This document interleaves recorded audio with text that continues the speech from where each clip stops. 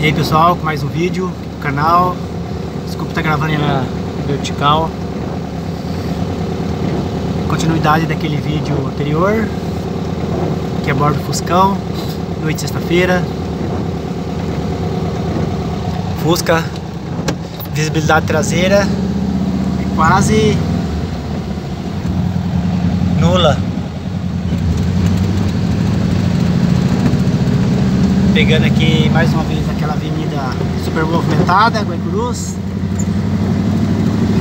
Então pessoal, estamos aí já caminhando para mais um final de ano. Estamos na metade do mês de outubro de 2021.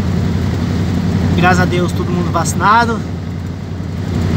Logo logo tomaremos, tomaremos a terceira dose. Essa avenida aqui é complicada povo. Batida de ônibus com carro. O povo aqui, essa avenida é uma das campeãs em acidente. Pra você que vai começar a dirigir aí, ou dirige, tome muito cuidado. flagramos aqui com exclusividade esse acidente.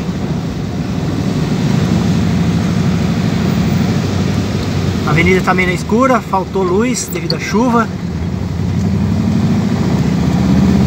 Vários pontos da cidade. Uma situação de caos aqui em Campo Grande, Mato Grosso do Sul.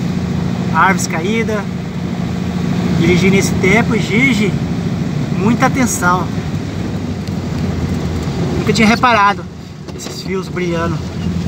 Essa avenida está bem no escuro mesmo. Vale a atenção redobrada, triplicada para você que dirige. Principalmente a bordo do Fusca. Que já não é aquela visibilidade. Mas, dentro do possível,